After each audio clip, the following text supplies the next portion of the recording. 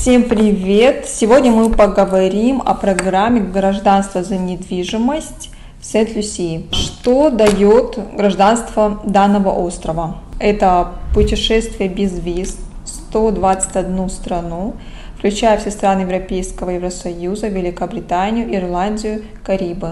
Граждане Сент-Люсии легко получают долгосрочные визы в Соединенные Штаты Америки.